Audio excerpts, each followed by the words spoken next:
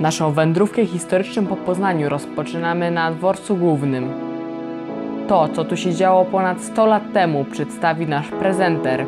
Ignacy Jan Paderewski wraz z żoną Heleną 25 grudnia 1918 roku dopłynął do portu gdańskiego, zaś dzień później pojechał pociągiem na niegdyś dworzec cesarski, e, a dzisiaj na dworzec główny w Poznaniu, skąd rozpoczęła się wizyta w tym mieście.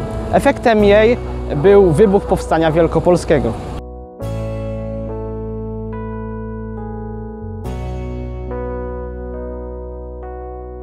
Przenosimy się teraz do hotelu Bazar.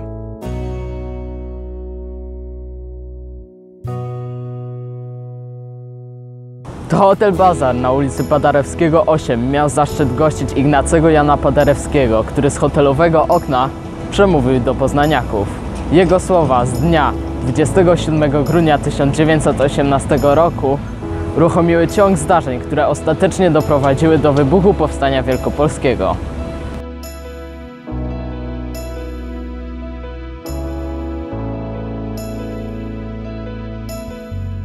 Następnym punktem naszej wędrówki będzie miejsce śmierci pierwszego powstańca. To tutaj 27 grudnia 1918 roku zginął pierwszy powstaniec Wielkopolski Franciszek Ratajczak. Został on zabity od kuli z niemieckiego pistoletu. Przechodzimy teraz do miejsca, w którym złożono uroczystą przysięgę żołnierską. Na Placu Wolności upamiętniony został moment, w którym powstańcy wielkopolscy złożyli uroczystą przysięgę żołnierską 26 stycznia 1919 roku. To miejsce upamiętniono tablicą, na której jest napisane Na tym placu w dniu 26 stycznia 1919 roku powstańcy wielkopolscy składali uroczystą przysięgę żołnierską.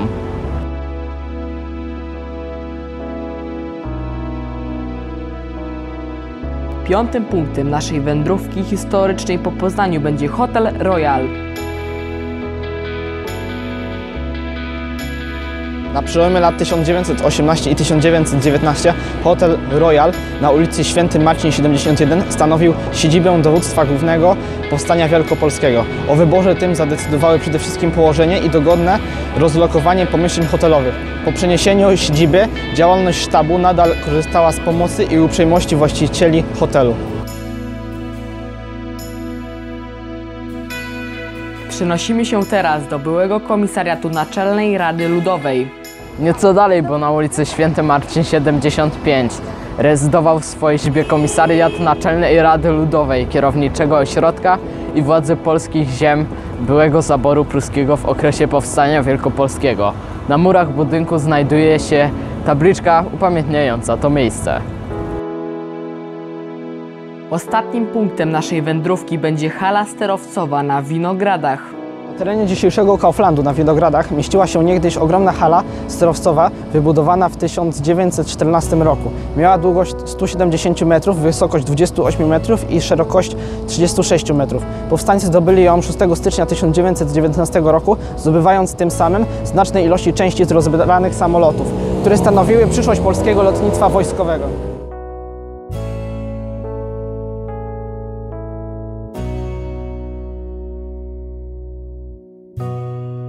Teraz wywiadu nam udzieli pan Zbigniew, który doskonale zna historię powstania wielkopolskiego z opowieści jego rodziny.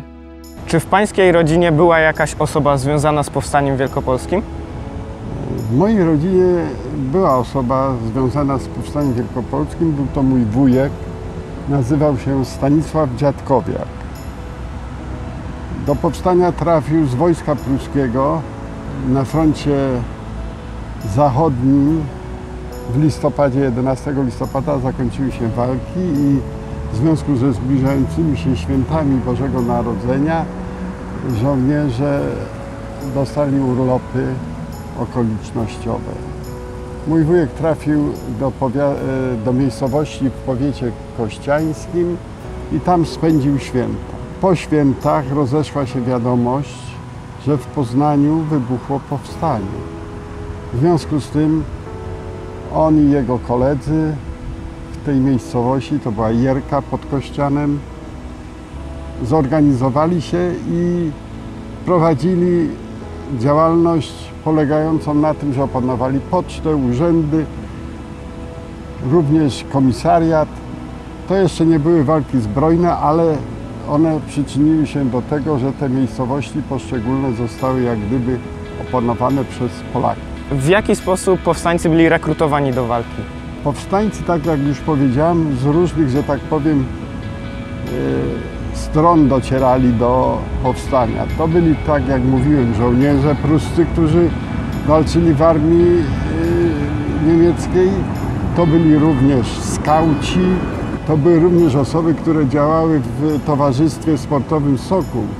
Sokół prowadził oprócz zajęć czysto sportowych również działania paramilitarne, które szkoliły młodzież do ewentualnych przyszłych walk powstańczych. E, A jakie były dalsze losy powstańców?